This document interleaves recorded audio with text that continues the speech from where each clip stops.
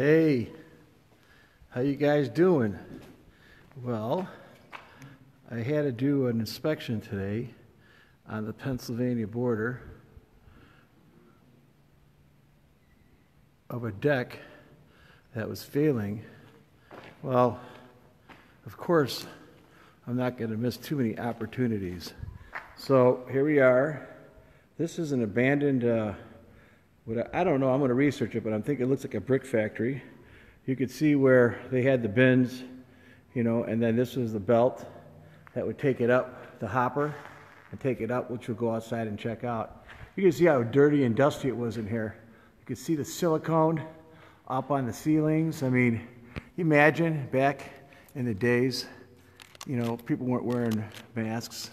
And this stuff is very bad. Silicone's like glass, and uh, it'll just cut you up. Um, you can see it all over here, and of course, I'm walking around in shorts and no mask.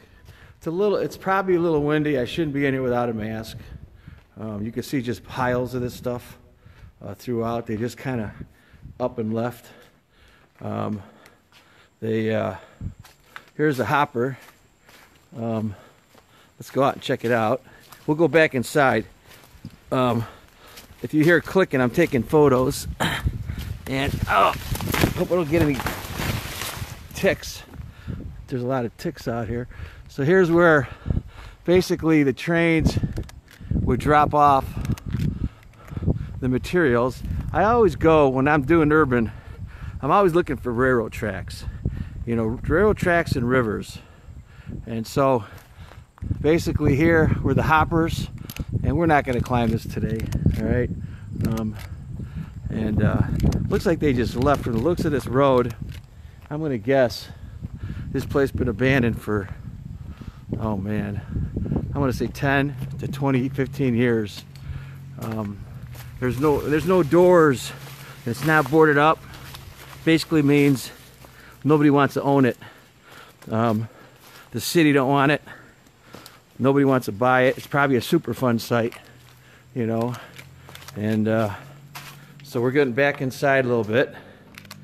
And looks like kids like to play around in here. Little graffiti and uh, looks semi-professional graffiti.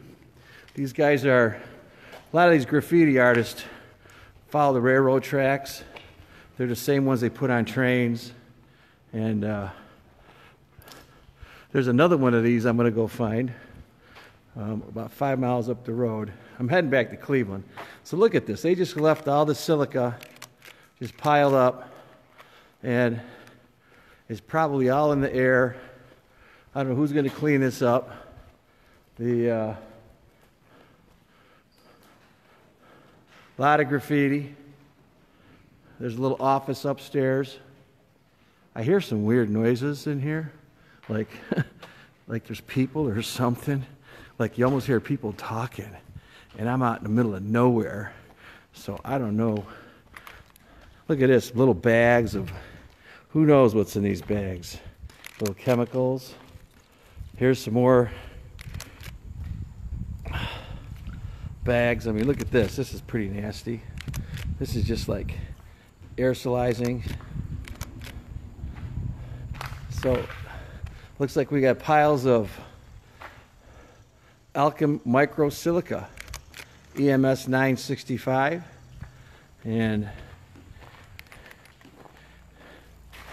is really, really contaminated. I mean, seriously, it doesn't get worse than this. Um, probably should be wearing like a scuba gear in here. His bags are just ripped open. Here's some uh, plastic. By the way, if you watch my garden, don't use this stuff. It doesn't work. All right. Um, I'll explain later. More nastiness over here. Uh, this stuff, all kind of stuff. Mate, this came from Canada, and so uh, aluminum. That's aluminum from Canada. Microsilica, which is basically glass. And who knows if there's asbestos in any of these bags. Um. Oh. Basically multitasking here. Um, I'm alone, so I won't be climbing up any towers. Generally, I don't do any climbing when I'm by myself, especially where at locations I have no clue where I'm at. Probably lost. Half the time I lose signals, and that's where uh, my navigator starts taking me around in circles. And so let's go take a quick look outside. Uh, so this building is done. We're gonna head outside. I kind of walked around the whole facility. There's a bunch of railroad cars. There's another building I don't know how to get to. Now I think these cards, these railroad cards are still functional. I think they're just leaving them here because they're not rusted. So they're getting like probably free storage. This looks like the gatehouse. Um, let's go check it out. There's probably some paperwork in here.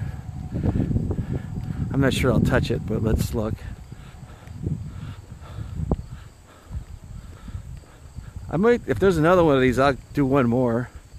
Um, hello, animals. Ooh, man, it stinks.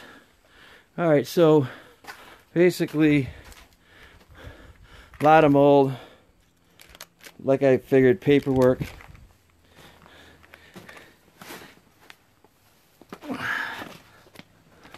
Lots of paperwork. You could probably see what they actually made here.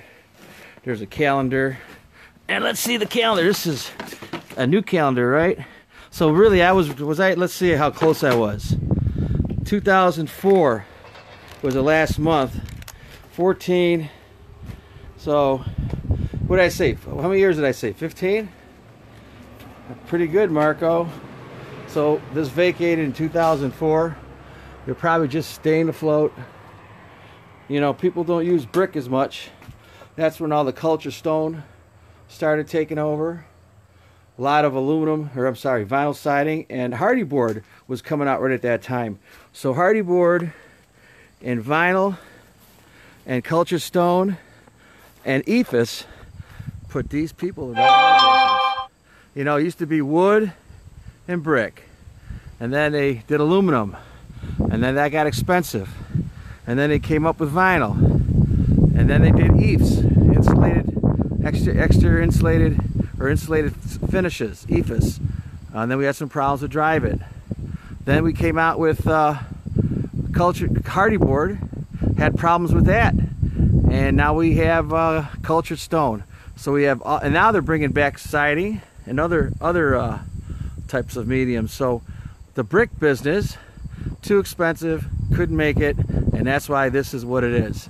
There's a tower back there. I'm gonna head over that way and check out that site. If it's cool, I'll come back. Over and out. Thanks for watching.